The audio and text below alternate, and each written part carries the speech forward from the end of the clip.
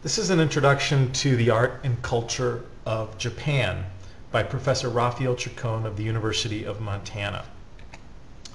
Japan is an island nation in off the coast of mainland Asia. Uh, it is an archipelago actually composed of four islands, that is the island of Hokkaido, Honshu, Shikoku, and Kyushu. It's, um, it's an interesting location uh, given its proximity to the Asian mainland and its neighbors, the Koreas, Russia, and China. And that location, of course, means that it has um, in some ways been subject to uh, that proximity to the mainland and those uh, other societies uh, to the west. Uh, it also, being an island, it also means that uh, Japan has at times in its history been an isolated country as well.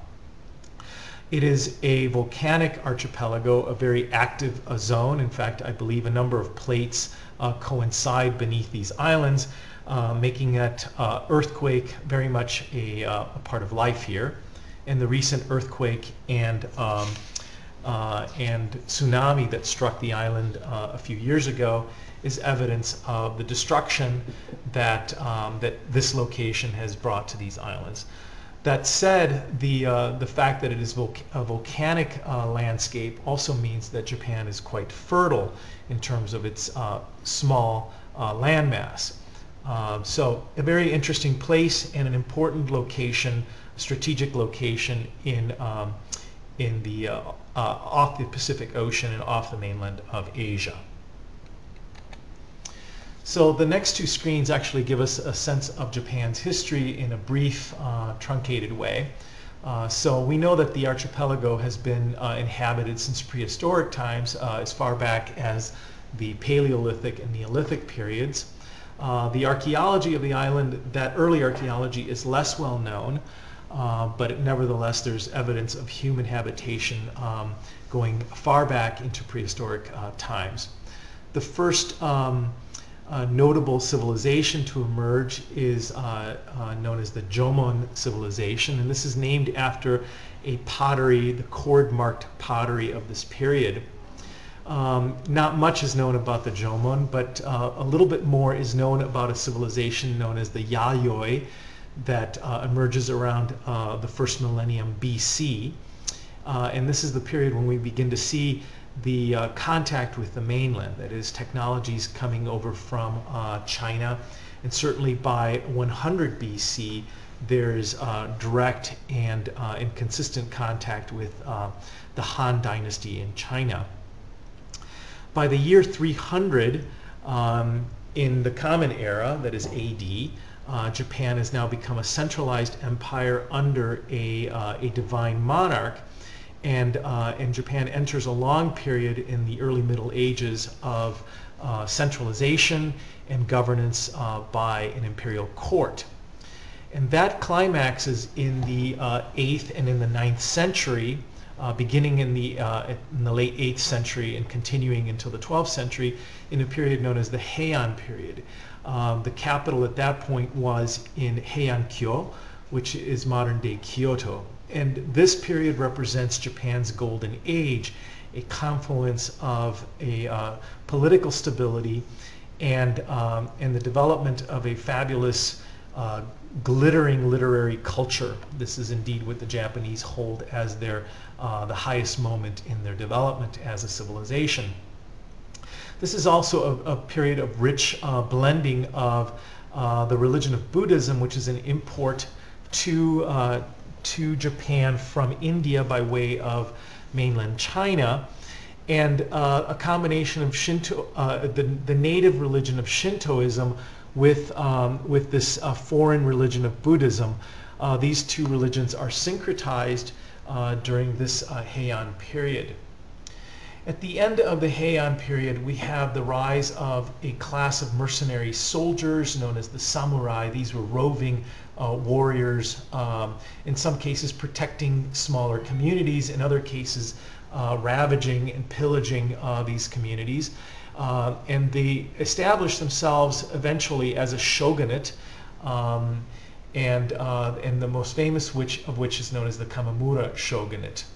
Uh, by the 14th century, you have the rise of uh, local warlords competing with each other for power uh, in the islands. These are known as the daimyos, uh, daimyos, and, and the most famous one of these is the Muromachi daimyo, and they will rule from the 14th into the 16th century. So a period of civil war and instability follows um, and then again another period of political centralization known as the Edo period. Uh, and this was actually under the uh, shogunate of the Tokugawa uh, from the 17th through the 19th uh, centuries.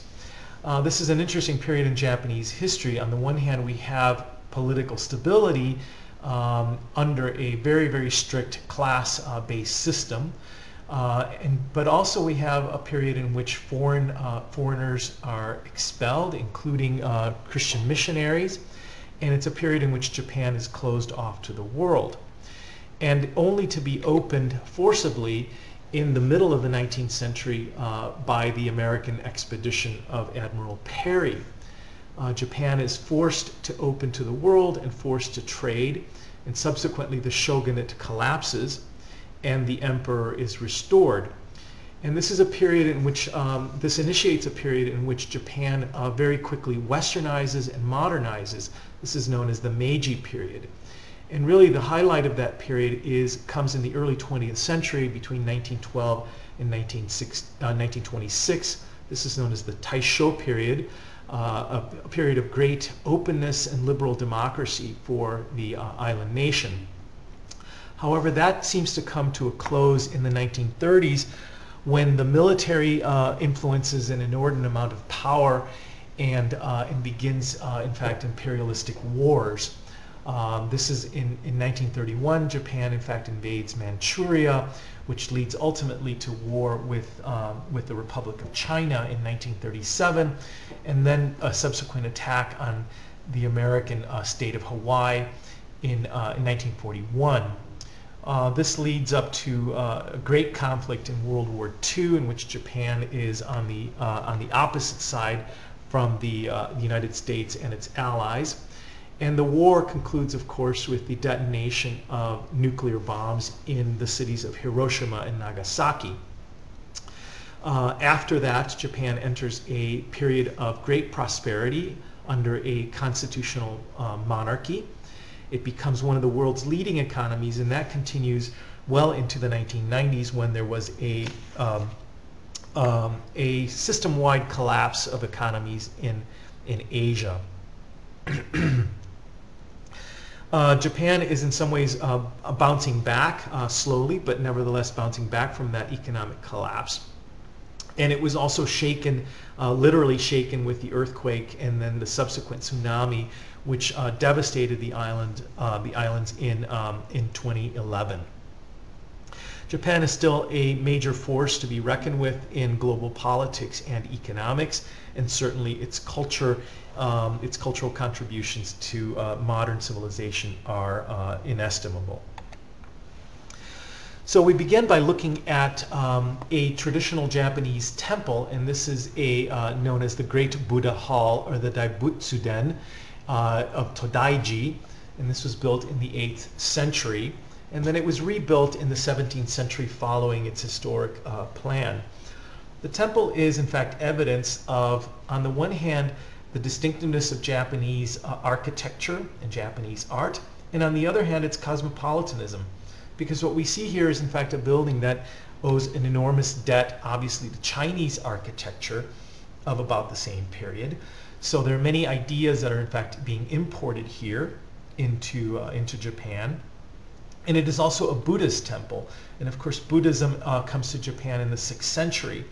Um, but, uh, but there's also lots of attributes here that are distinctive to Japanese architecture and Japanese religion. Uh, so therefore we see this tension, the, the building in some ways holds the tension between Japan's uh, cosmopolitanism and its contacts with, um, with the rest of the world at this time, uh, but also its distinctiveness. Uh, the temple is, has the largest uh, bronze statue of a certain type of Buddha. This is Buddha Vairocana. And, uh, and this, this center here that we see was in fact a center of the Kegon school of Buddhism. Uh, this temple is the principal temple and it rules over six other temples in Japan uh, where this particular version of Buddhism is uh, indeed practiced. Um, it was here from this site that a monk by the name of Gyoki was able to reconcile uh, Shinto traditions such as the purification with um, the traditions of Buddhism, and that was dispersed and proselytized by other monks uh, starting, starting here. So it's a very important place for the development of Buddhism as a whole, but specifically for, uh, for Japanese Buddhism. Along the same vein, we see another temple, another Buddhist temple. Uh, this is known as the Ryoanji Temple, or the Temple of the Dragon at Peace. And here in these two screens, you see on the left the gatehouse uh, entering the temple itself, the temple complex.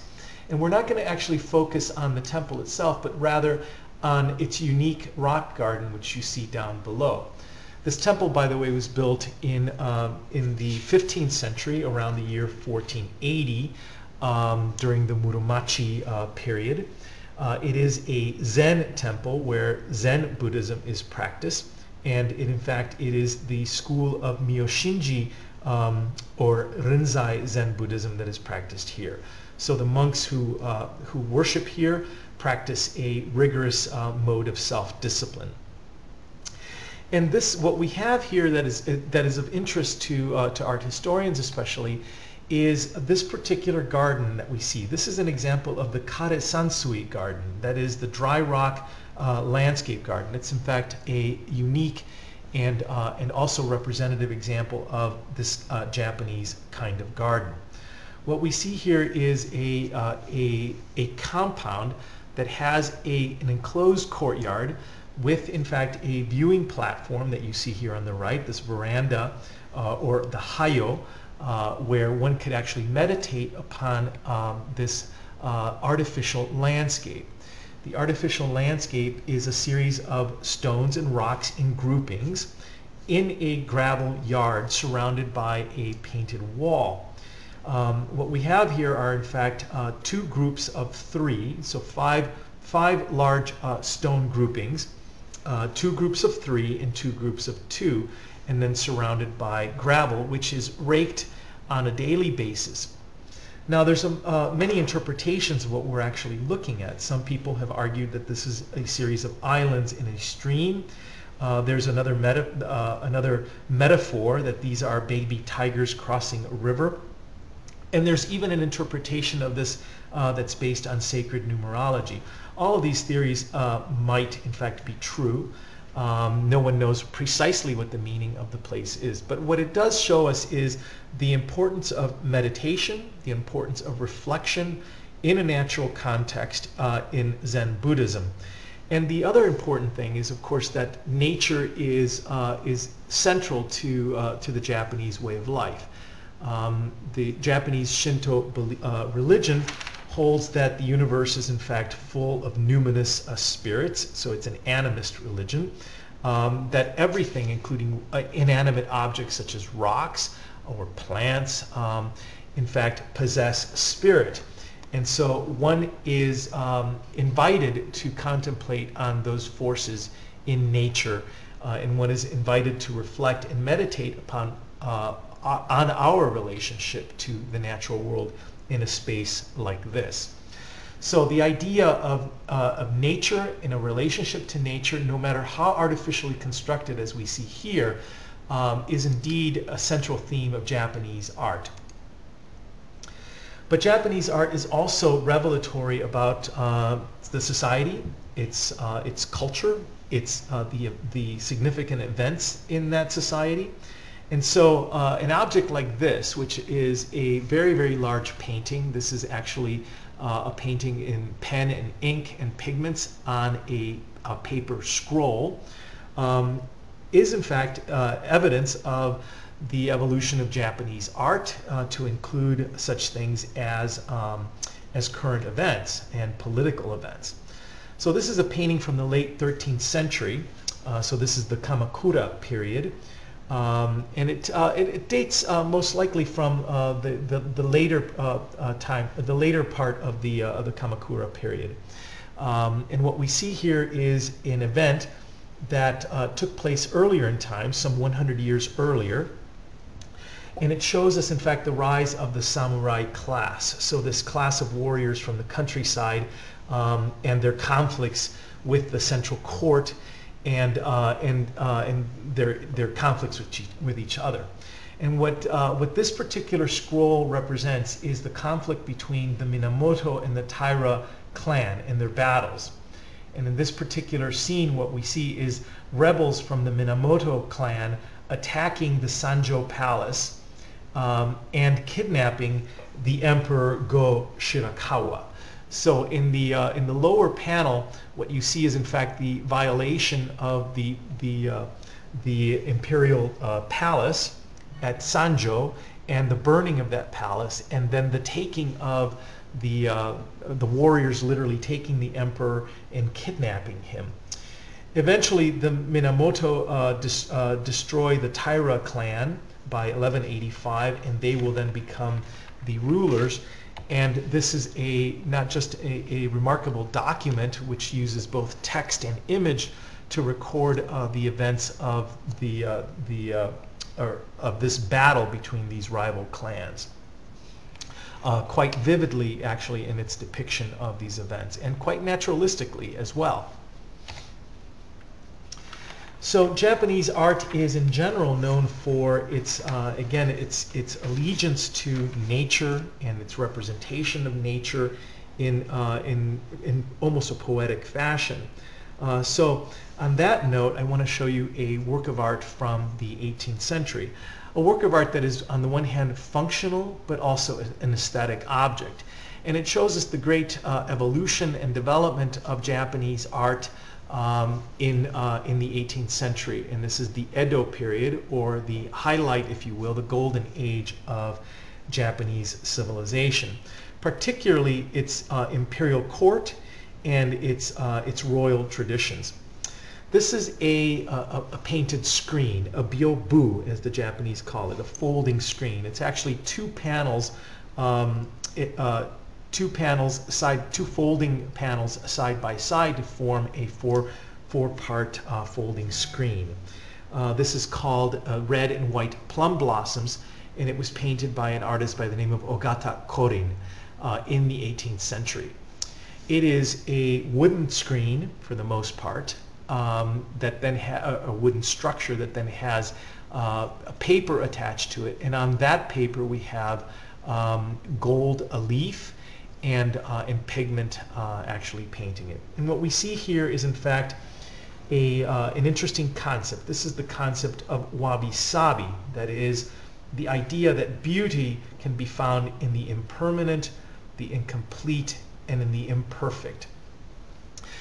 Um, we have an image, uh, a natural scene, an image of a stream flowing in the middle with its beautiful uh, swirling currents um, uh, mostly abstracted. And then left and right, two naturalistic treatments of two plants. On the left hand, a white plum blossom tree, and on the right hand, a red pl uh, plum blossom tree.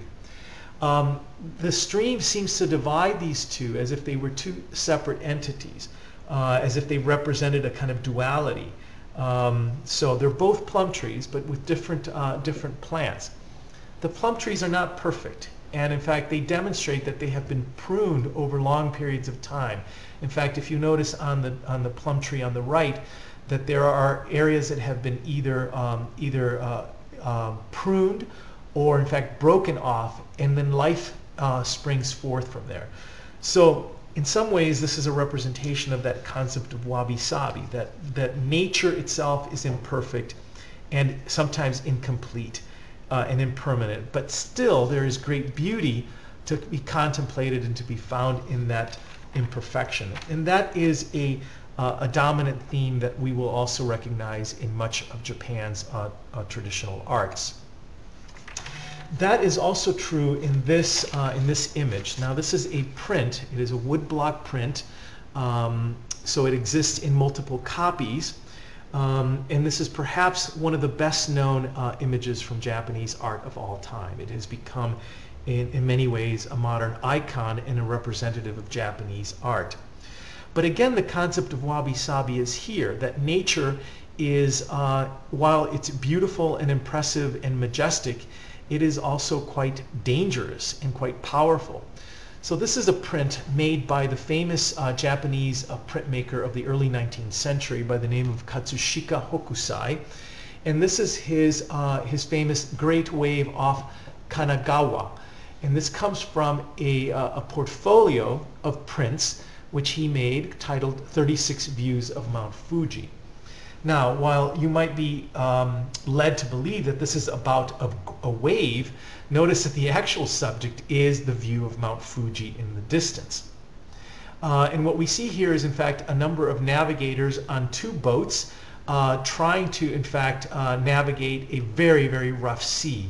And an enormous wave, uh, almost uh, almost like a creature rising out of the water and almost certain to uh, to wreck or destroy the boats um, the boats we see both in the foreground and in the distance.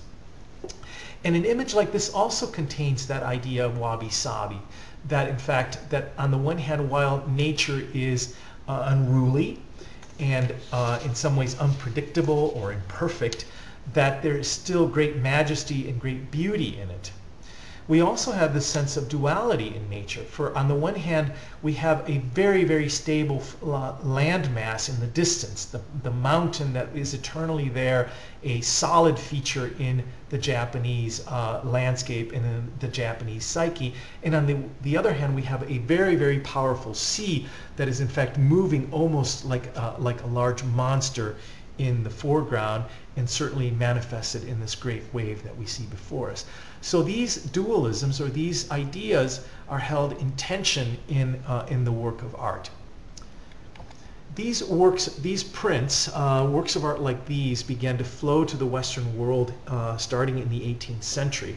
And certainly by the 19th century, after the opening of Japan, a great many prints um, and works of art from, uh, from Imperial Japan began to flow to the Western world so much so that it really impacted uh, the Western world in a direct way. There is a style of art in the West, in Western Europe in the United States, known as Japonisme, uh, which is really an art that delights in uh, Japanese art forms. And so this is a painting by the artist James Whistler called Caprice in Purple and Gold, The Golden Screen, where we see a Japanese folding screen in the distance and then a woman uh, contemplating some prints, uh, most certainly from Japan from the early 19th century. It was an outsider's view of Japan, uh, delighting in its, uh, in its textures, its colors, its aesthetics, uh, both in the clothing that the woman wears, uh, the prints that she beholds, the screen, the furnishings that surround her. There was a, almost a pan-Asian, um, um, a, a, love of things pan-Asian in, uh, in Western Europe in, uh, in the 19th century after the opening of, of Japan. Here's another image. This is uh, the American Impressionist uh, Mary Cassatt's uh, work, La Toilette, or Woman Bathing from 1891 an image that owes an enormous debt to Japanese uh, printmaking. So European and American collectors uh, began to look carefully at uh, Japanese aesthetics, Japanese design, uh, Japanese themes, and above all, Japanese sense of space um, and uh, configuration in their, uh, in their works of art. And that, of course, made its way into movements like the Impressionists and the Post-Impressionists in the uh, late 19th century. So Japan has, as I mentioned earlier, has had a uh, dramatic and significant influence on the arts of the West as well. And to end our conversation, I want to talk about uh, modern Japan and Japan's um, participation in contemporary art. Uh, during the Meiji period, there was a great interest among Japanese collectors and Japanese artists in all things Western. Uh, this is a period when Western art began to um, to come to Japan and uh, be collected by uh, um, major uh, patrons in Japan and, uh, and then Japan would join the family of Western countries uh, starting in the Meiji period in the late 19th century and would continue into the 20th century. Uh, this is a contemporary artist by the name of Mariko Mori, who has become a, uh, a shining star in, uh, in Japanese uh, contemporary art. This is an image of Mariko Mori in, in the 1990s when she created a number of different persona and so in her, and, and actually as a performance artist, she she reveled in these uh, different archetypal individuals, which show us, in fact, Japan as a, uh, as a modern, westernized uh, country. Um, in some ways, Mariko Mori satirizes the West and uh, satirizes Japan's uh, embrace of Western traditions. Um, but on the other hand, she also is, uh, is quite um, reflective of Japan's traditions of doing that and its embrace of uh, non-Japanese ideas over the centuries. This is a still from a, uh, a 3D video installation in which you can see her as a bodhisattva floating there in uh, the landscape. And this is an image called Pure Land from uh, the late 1990s, 1997. So again, it's a still from a, uh, a video uh, presentation in which we see uh, imagery that would be familiar to, uh, to any Japanese as Buddhist in origin. So the idea of a goddess or a bodhisattva, an enlightened figure uh, in a landscape. But then we have these other comical characters, which are more reflective of Japanese anime and its, uh, its contemporary cartoon culture, which is very rich in, uh, in uh, the contemporary world. Uh, this is Mariko Mori in, uh, in a most recent image, and it shows you some of the works that she is doing um, lately. So um, she um, takes full advantage of Japan's industrialization and its, uh, its modernization. And so much of her artwork today involves uh, the use of new materials and industrial materials. And she creates these beautiful forms, uh, beautiful abstract forms that not only evoke the meditative, contemplative traditions of, uh, of Japanese art and its uh, uh, traditional environments, uh, but also are in acknowledgments that Japan is indeed a fully modern, technological, uh, technologically based society. Uh, this is a recent installation in which um, viewers are invited to enter this pod-like, capsule-like structure and where they can watch videos uh, created by um, Mariko Mori and are also implicated by those videos. So they become one with uh, the works of art. Her, her art lately has a kind of astral or futuristic quality to it, uh, implying uh, that, um, that we will soon be inhabiting spaces like this, um, if not on planet Earth, but in other planets. Uh, on the one, while these things may in fact be quite futuristic and quite contemporary looking, they almost always uh, um, reference Japan's traditions. So for example, here's another version, another uh, pod-like structure, and yet this one has uh, direct allusions to the pagodas, the, uh, the temples uh, of Japan's uh, Buddhist and animist traditions. So on that note, we will end our introductory lecture on Japanese art and culture.